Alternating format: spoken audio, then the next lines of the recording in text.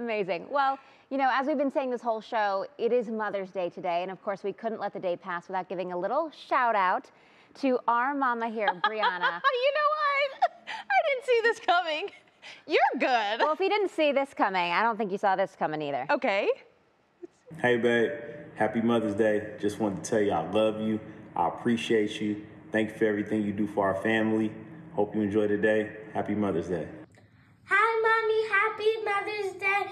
And thank you for giving birth to me again. And I love you so much. It's your girl.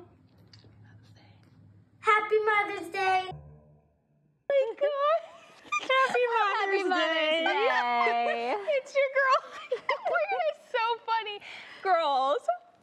Okay, I So, Okay. so the idea of I'm finding the idea of finding out about Morgan, Yeah. we said we can't not have Morgan say course. Happy Mother's Day to her mom. So Isabella jumped through hoops to find Yeah, Kaylin's Kaylin's- number, and then to get in contact with whomever could record Morgan. Yes. And Oh so my yes, gosh. very happy Mother's Day Yeah. to you. I'm sweating at this point. Girls, literally, like when you're blessed with coworkers like this, oh, it just doesn't get better than this. Thank you, girls, so much. Mm-hmm. I'm not gonna cry, I promise, because, you know, I'm OG, you know? I'm tough. But thank you so much.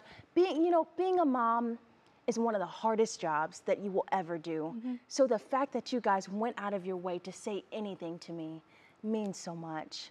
And I love yellow and these flowers.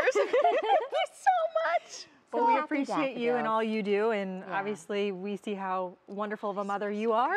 And one day we hope to be as wonderful of a Yeah. mother as you are. We have a wonderful role model and example in you, and we're very grateful for that. We love you, girls. Yeah, love you.